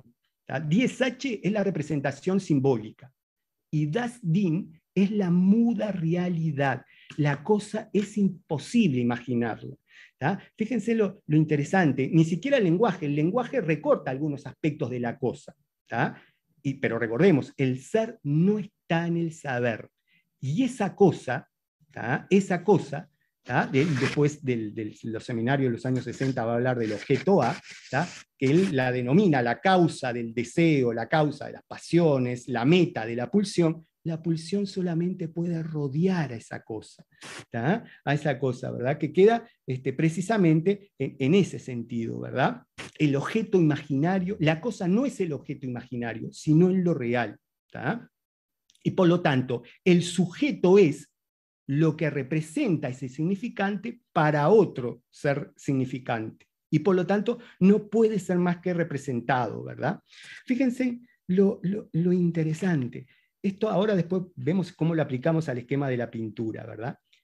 Eh, eh, eh, esa niña tiene que ver con algo que eleva el goce cabrerita de lo real, de la cosa, en una imagen que se le parece a la cosa sin ser la cosa en sí. ¿Ah?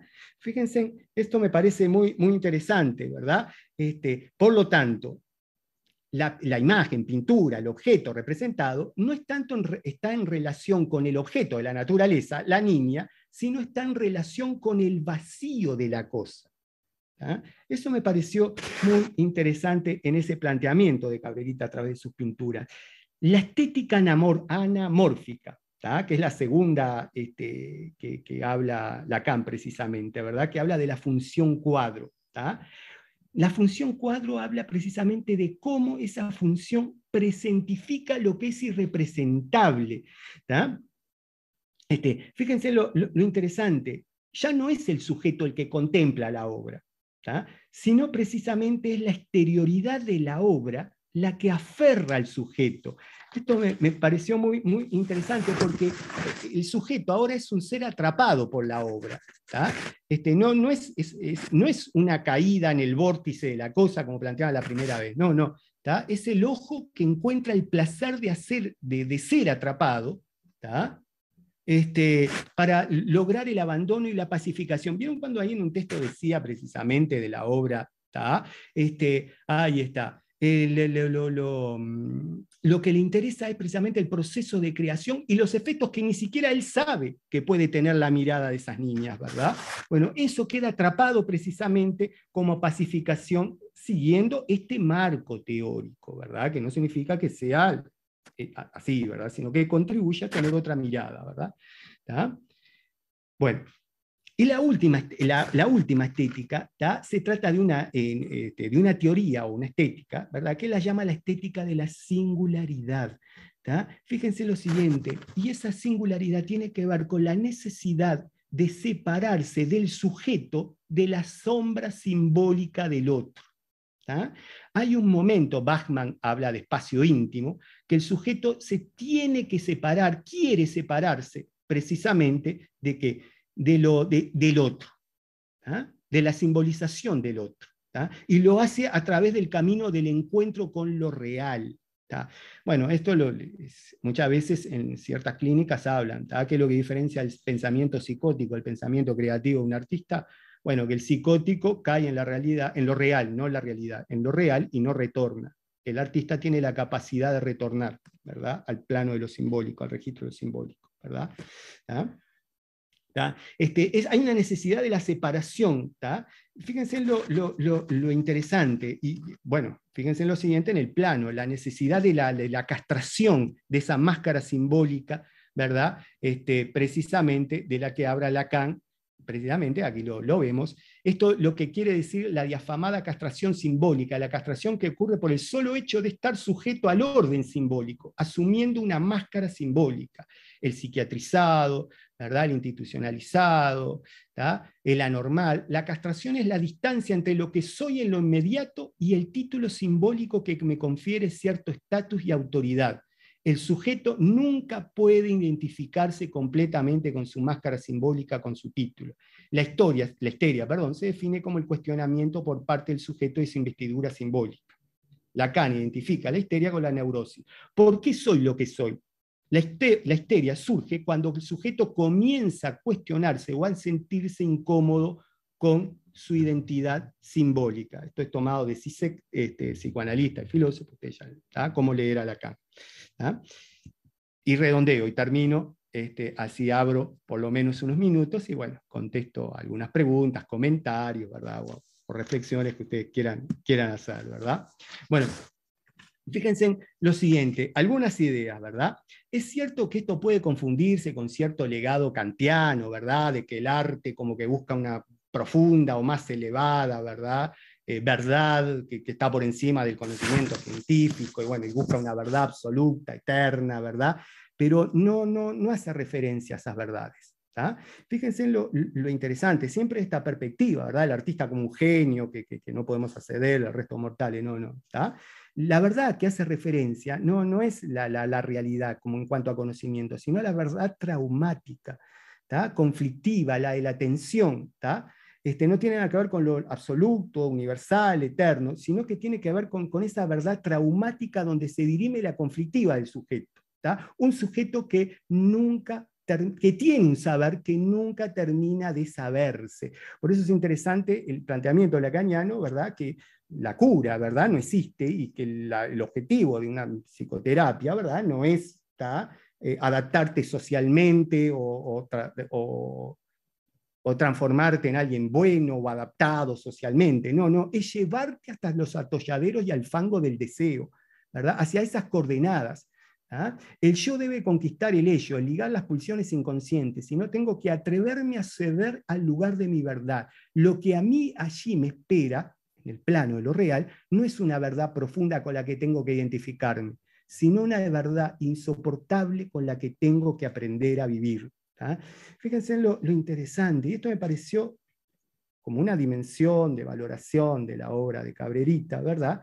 Esa, este, desde este anclaje teórico, eh, eh, este, me pareció sumamente sustancial, porque, porque en los 60 se, se lo reivindicaba, bueno, desde el artista loco, un significante en relación con el otro, pero el significante 2 es el que le da más peso al significante 1. ¿verdad? Entonces lo loco pesaba más y quedaba ahí. En los 80 había un boom de Cabrerita desde sus aspectos meramente formales, pero me parece que este, desde acá, desde esta psicología del arte, puede contribuir a esa dimensión más iconológica, más integral de la valoración de su obra, en cuanto a potenciar esos diálogos en ese espacio intersubjetivo que siempre se produce cuando nosotros nos encontramos con la obra para encontrar nuevos sentidos, resignificar, nuevas simbolizar, ¿verdad? Este, y sobre todo esa idea, ¿verdad? Que nuestro ser escapa a la representación del significante, ¿verdad? Eso me parece muy, muy interesante, ¿verdad? Y bueno, llegar a, esta, a, ese, plano, a ese registro de, lo real, este, me, parece sumamente, eh, es, es, es, la dimensión ética del, del, del, artista con, con, su obra, ¿verdad? Eh, esto un poco termina, un poco aquello con Artur Danto, ¿se acuerdan? Aquello que la valoración del arte, este, sobre todo haciendo referencia al arte contemporáneo, tiene que ver con la intención del artista. Si la intención del artista es tal y los significados coinciden a partir de un grupo de expertos con lo que la intencionalidad de ese artista, bueno, ese es tiene valor artístico esa obra y lo diferencia de las otras obras. Bueno, esa intencionalidad del artista ya, no porque es un saber que no termina de saberse y que se escapa precisamente de esa intencionalidad del plano consciente del, sujeto, ¿verdad? Este, es irreductible a las representaciones, ¿verdad? Bueno, y quería terminar con esto, con esta expresión, dado lo, lo, veloz y bueno, los pasos que me he salteado, ¿verdad? Con una magnífica expresión de la obra, la canción de Gaetano Velosa, de Veloso, de cerca nadie es normal. Y yo agregaría, si miramos muy de cerca, esa normalidad se vive con sufrimiento. Bueno, no sé si quedó alguien, capaz se fueron todos. A ver, voy a ver. Ahí estaban acá. Estamos todos, estamos todos. Usualmente cuando me pasa así en las clases, yo creo que termina ahí un mire Mauro que está la luz apagada, se fue todo el mundo, digo, pobre. Sabes que no. Mirá, veo a Francisco acá. Bueno, Francisco, ya les voy a entregar las notas del parcial. Es por eso que. no, ya a nosotros hace rato no la diste ya. Bueno, bueno, bueno. Bueno, abro este espacio así de, qué sé yo, de más que nada de reflexión y de, bueno, de comentarios. Y, si hay alguna pregunta, estoy seguro que Daniela, Marcel, Didier, encantadísimos se las van a contestar. Así que no sé quién es. Mira Mario. Bueno, sí, lo, los escuches y disculpen la, velocidad un poco de la exposición sea, algún comentario. Marcel, eh, no, no, no esperen a que, yo diga, porque yo no. Marcel, Miguel, Miguel también tenía levantado. Miguel levantó primero. Bueno, dale, Miguel. La charla estuvo buenísima, realmente, y quería hacer tres comentarios, ¿no? En función de lo que estamos contando. Primero, comentar sobre el archivo del, Hospital de la Rebó, que ahí está Magela, que es justamente, ¿no? historia, bueno, que hace ya no, quiero mentir, si ya hace dos o tres años que está eh, en ese emprendimiento, a pulmón realmente, revisando todo lo que hay ahí. Bueno, si, si, les interesa, pueden ir a dar una mano de paso y hay un montón de cosas para, para, revisar ahí. Lo otro, e, en parte, por algunas imágenes que mostraste y cosas que contaste, me, me hiciste volver en, en, la memoria a fines de los años 90. Yo pertenecí a un grupo de jóvenes de una parroquia, bueno, no importa esa, esa historia, pero con el grupo de jóvenes a veces salíamos a distintos lados, ¿no? Y un día fuimos al Cotolengo Don Orione, que está ahí en la calle Instrucciones, casi propias, ¿no? Y bueno, entramos a la, institución, fuimos a distintas partes, recorrimos, y uno de, los lugares que más me impresionó del edificio justamente era el famoso piso 3, porque tenía instalaciones al mejor estilo mazmorras, como las que vos contaste, ya tenían los grilletes y las que nos dijeron que a veces se tenían que usar, ¿no? Estoy hablando del año 98, 99. Claro, claro. Eh, Totalmente. Fuerte. Tengo 43 años y eso todavía me, me, impresiona, ¿no? Quedó ahí guardado en la memoria. Bueno, eh, mirá, Miguel, vos sabés que Susana, esta muchacha que era muy jovencita, ya en el año 76 que entrevisté, era médica de práctica, ¿viste? O sea que ella estaba para poner una curita o sacar una espina. Y vos sabés que eh, fue tan fuerte la intensidad de la experiencia, ¿verdad? Que eh, ella dice que cada vez que tiene que ir para esos lados trata de evitar ir por la ruta 11. Ahora, ¿ah? tú imagínate la, la, intensidad de la, de, la, de, la, de la experiencia, ¿verdad? En, esa, en la subjetividad, de, en este caso de, de Gabrielita. La, la, porque realmente no la vi, es si habías visto la obra de teatro Cabrerita. Que, sí. Sí, magnífica Está en YouTube también, Miguel. Ah, no sabía. sí, sí, la, están, la, grabaron y bueno, no recuerdo bien cómo la pueden buscar ahí, que la pueden encontrar, ¿viste? Muchísimas gracias. Interesante, Miguel. Bueno, bien, este, hola Mauro, no me permite abrir el micrófono. Ay, yo no sé cómo hacer esas cosas. Está. Ah, bueno, Vanessa, este, ya vamos a ver mis técnicos cómo lo van a solucionar, Vanessa. No tengo ni idea. Marcela, Alejandra, los escuche, sus comentarios, sus reflexiones, no sé, lo que quiera. Bueno, primero, por razones técnicas, que yo estaba desde muy temprano, demoré y agarré medio empezada la charla, este, unos minutitos, unos minutitos, pero todo bien. Eh, bueno, yo, yo no puedo dejar de sentir una sensación de desasosiego ante el tema, no ante la exposición, que me encantó, porque yo vengo de un entorno muy cercano a las cuestiones de salud mental con complicaciones, entonces es como rozar un poco, este, yo simbólicamente evito la ruta 11. Pero este, es un mundo que repele y atrae al mismo tiempo por, por lo, por- por lo enigmático, ¿no? Entonces yo te quiero hacer dos preguntas. Sí, claro. Eh, una, doctor, ¿cuál sería su diagnóstico, su hipótesis del caso Cabrerita, en base a todo lo que ha, cómo lo podría sintetizar? Esa es la pregunta uno.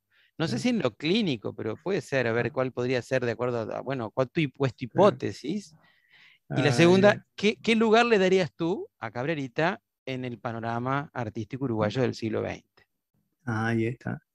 Bueno, primero una cosa, este, eh, capaz que doctor, este, ahí voy a, voy a hacer una aclaración ahí.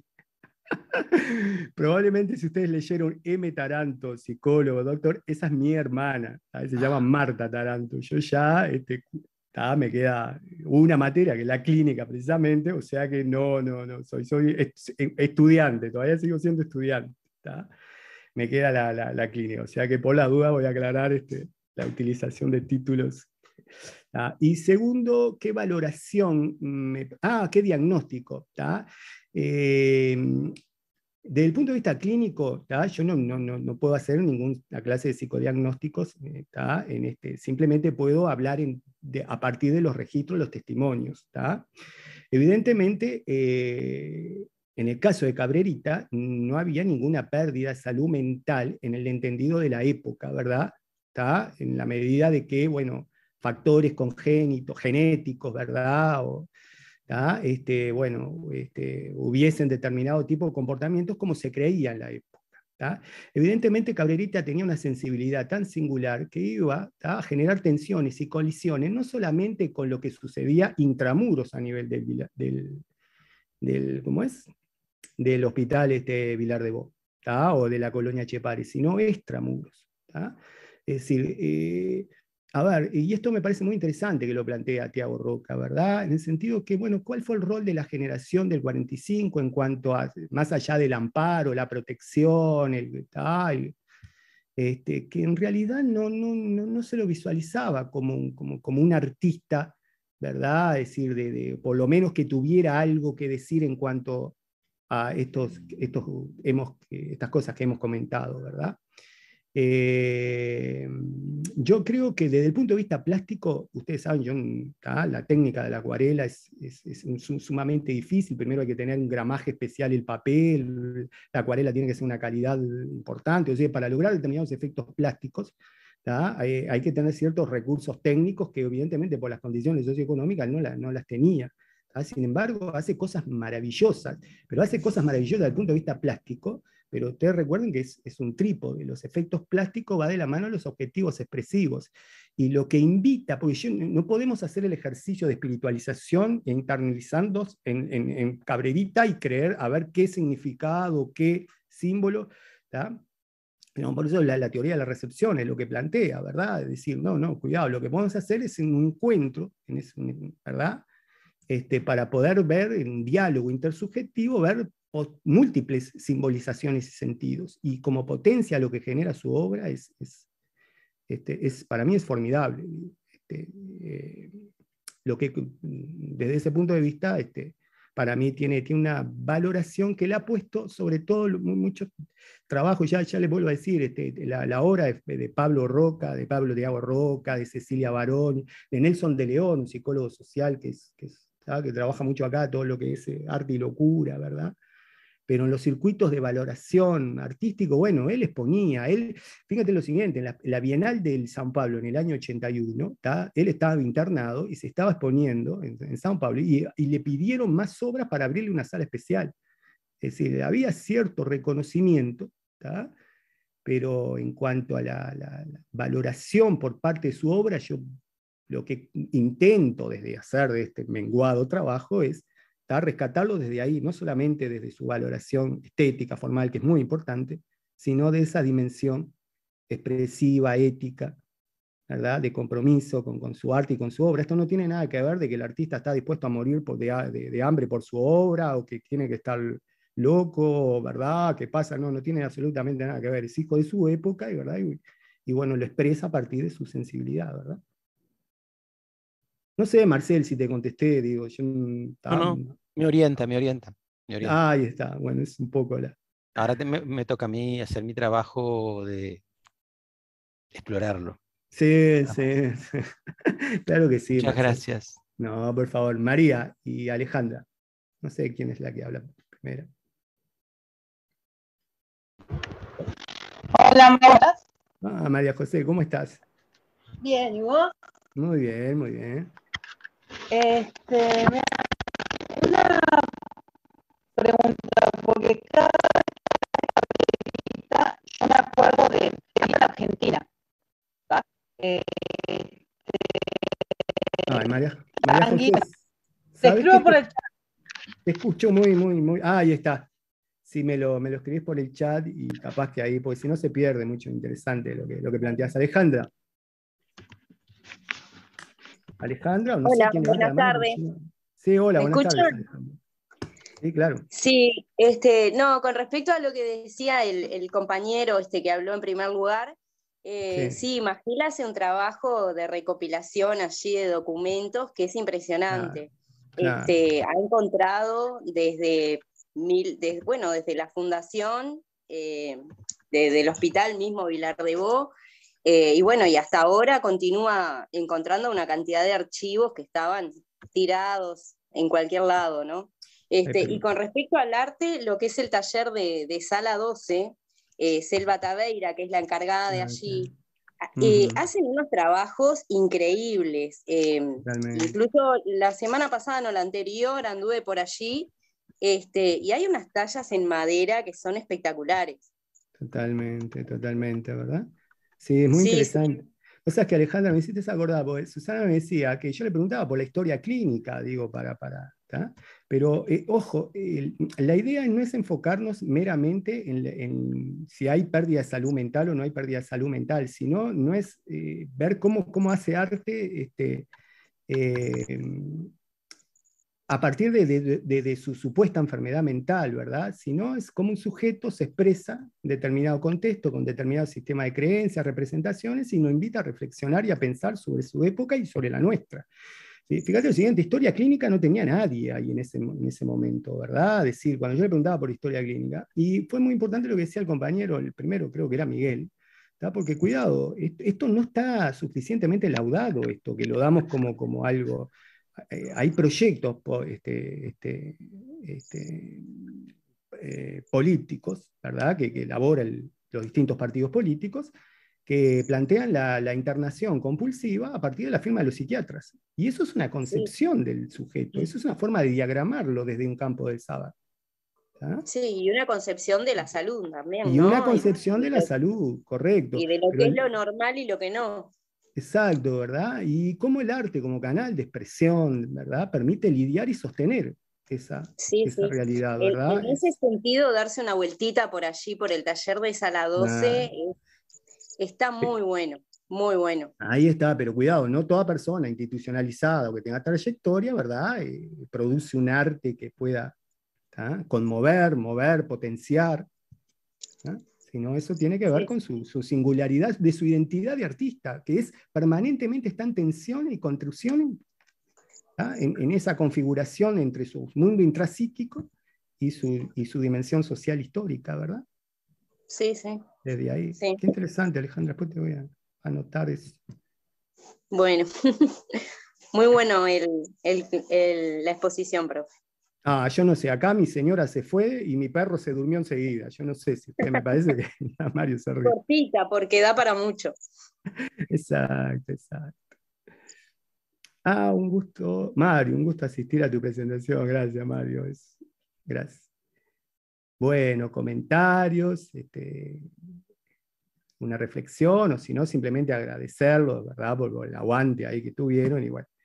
Y confirmame, Daniela, eh, las las ponencias están grabadas en algún lado porque hoy con los liceos, con estos exámenes que, que neces- que- que quería La- las, las las- ponencias, este, sí, como, como el Zoom es de Apu, lo, la grabó este, Apu y las va a subir al canal de YouTube de Apu y después me va a pasar el enlace y la subimos al canal de YouTube del IPA. ¿Ah? Bueno, bueno, eh, cualquier cosa, Bueno. este, por No correo sé, María José, si pudo escribir. A ver. Ah, sí, perdón, perdón. ¿Lo puedes leer ahí, este, Marcel? No, no está, no, no sé si llegó Ah, perdón, María José, mira. Para Federico, Natalia Kiss, que me manda saludo. A ver, María José, sí. te- Lo que ya están inscritos. Ay, no la encuentro. Hola, Mauro. Muchas gracias. A ver acá. Yo no. No, sabes que no la veo, ¿viste? Está la Vanessa. mano levantada ahí, pero eh, no, no sé si Sí, puede hablar de vuelta. cortó. A ver, yo voy a hacer una pregunta que no sé a quién, a quién corresponde, Daniela, si, si Sí. hay alguien detrás de, de la pantallita de Apu. Este, algunos de los correos o en la lista tenemos que, aquella que recibimos de inscriptos para, porque hubo gente que hizo aportes o que querían este, incluso aportar algo y de- en mi caso, por ejemplo, yo digo, bueno, después lo vemos, pero ahí yo no registré. Cuando alguien dijo, yo tengo, No, conozco, yo no, no sé.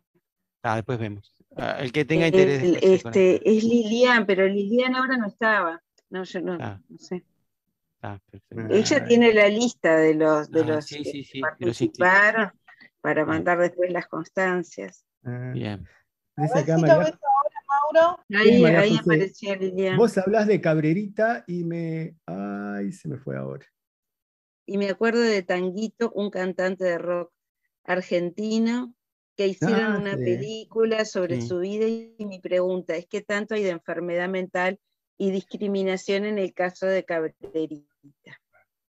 Claro, fíjate lo siguiente, tú sabes que cada época tiene sus representaciones sociales, sus diques morales, ¿verdad? Y bueno, que en cierta forma generan ciertos padecimientos en los sujetos, ¿verdad? Así como las, las histéricas a comienzos del siglo XX, ¿verdad? Las histéricas de Freud, ¿verdad? Con, con sus neurosis.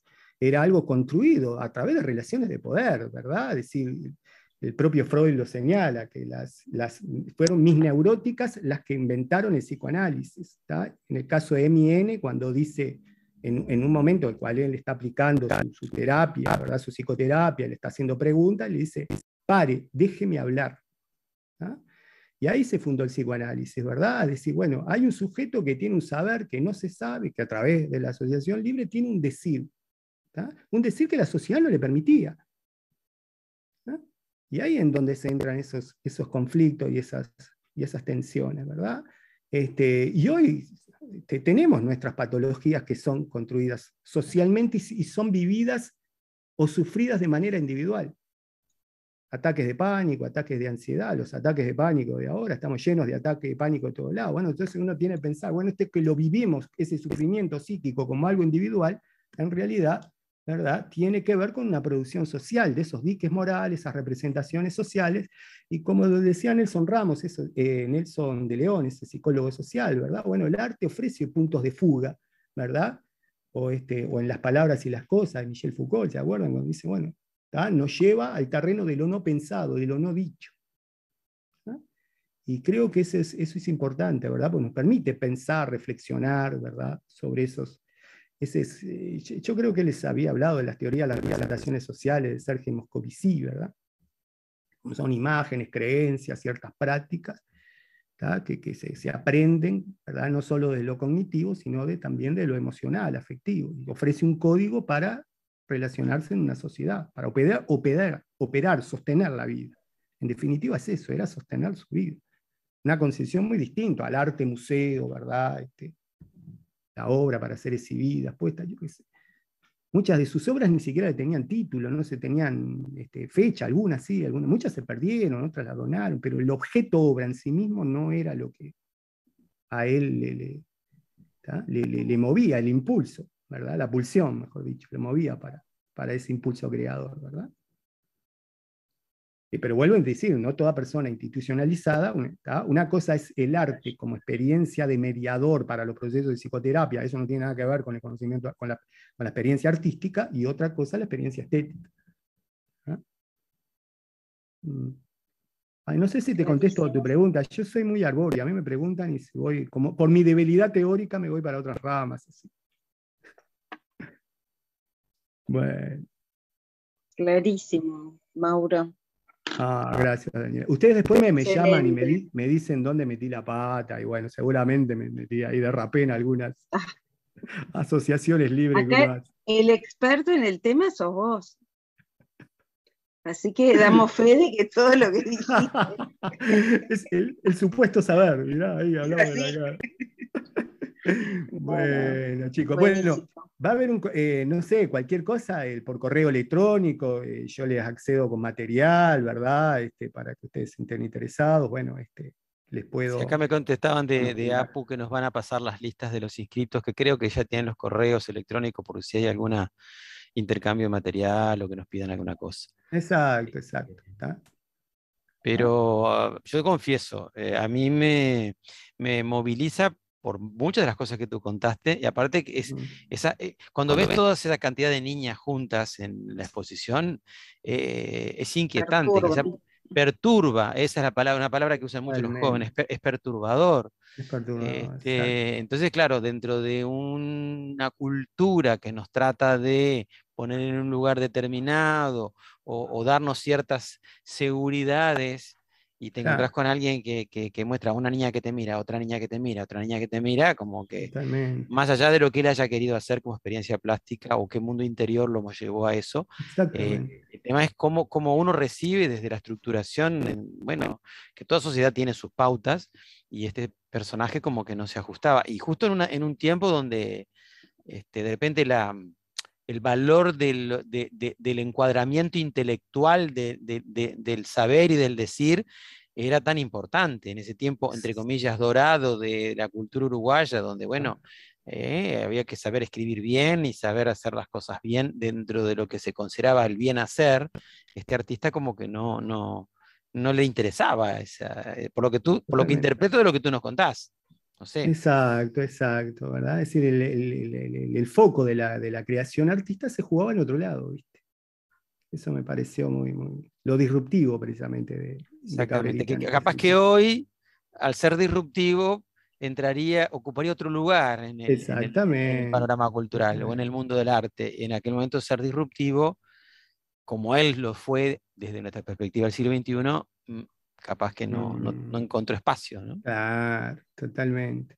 Tú, tú lo planteaste, ¿viste? Lo normal y lo anormal, esos polos Claro. dicotómicos de nuevo, ¿verdad? No- Anormal es lo que se sale de la norma, ¿verdad? Y ahí en esa bolsa podemos caer todos, ¿ah? este, en ese sentido, ¿verdad? Seamos artistas o no. ¿ah? Lo interesante, bueno, es ver cómo operan en esos contextos, ¿verdad? Muy bien. Ya veo un lindo gato ahí de Natal. Los gatos son, les encantan las videoconferencias. Bueno. ¿Cómo andás, profe? Buenas Muy noches. bien, Natal. Bueno, entonces, este, si les parece, eh, este, ¿tá? queda para mucho más y para, para mucho. ¿tá? Este, eso, esto apenas es un, ¿tá? un barniz que invita a nuevas interrogaciones, ¿verdad? más que nada. ¿tá? Este, y es interesante lo que plantea Ma- Marcel, leer la obra en su contexto histórico, pero también leerla en nuestro contexto histórico para pensarnos, ¿verdad? Y en ese encuentro, en la experiencia estética, nosotros creamos, significamos, reelaboramos y nos estamos construyendo a nosotros mismos también. Muy bien. Bueno, bueno, de mi Muy parte bien. entonces, muchas gracias y nos mantenemos en contacto. ¿Les Y sí, Bueno, y agradecemos a a esta cantidad, a esta cantidad enorme de gente que ha participado toda la tarde, que se lo bancó así con tremenda Dios. tolerancia, y a la APU reitero, y bueno, y que Totalmente. condiciones como para que saliera linda esta jornada. Un poco Exacto. cansadora, pero muy, pero muy fructífera. Muy, muy, exacto. profesores juntos. Qué, qué honor, qué honor. La. Con, con enfoques distintos, ¿no? Que me parece Ah, que eso es lo, que está- es lo mejor de interesantísimo. todo. Sí, sí, sí, totalmente. Y serán bienvenidos en algún momento. Tenemos que generar los espacios para que todos los, los colegas docentes o no docentes del IPA, pero que quieran este, hacer sus aportes, vamos a ver si en futuras instancias también pueden este, presentar sus trabajos de investigación y, y aprender juntos. Exacto. En definitiva, yo aprendo Bueno. mucho. Bueno, de eso Nos vemos. Fuerte abrazo y muchas gracias. este. gracias a Chau, todos. chau. Chao. Chau, chau. Gracias gracias. los jubilados que disfrutan sus clases.